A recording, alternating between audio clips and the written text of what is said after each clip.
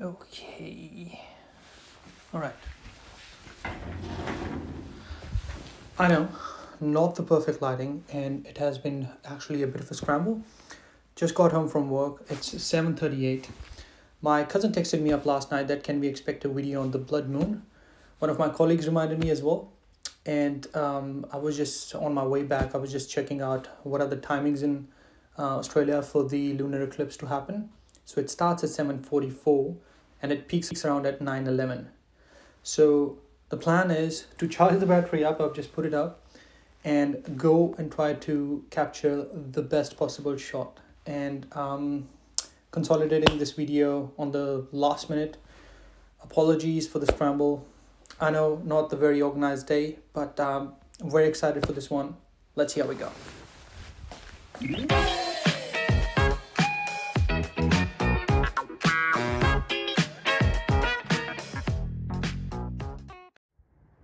Okay, so recording this video from my phone and we can see that it's not perfectly round anymore. We can see the eclipse have started to come through and basically that's the shadow of Earth.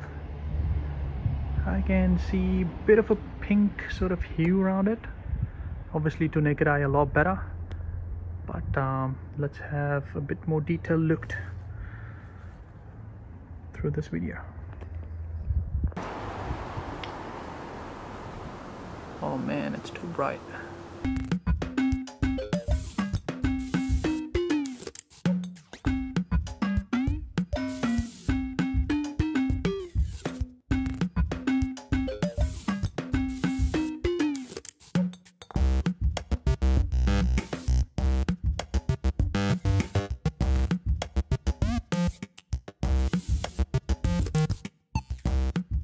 Now you can see that the brightness of one side of the moon is too much and on the other side it's not that much but we can start to see these pink and red hues.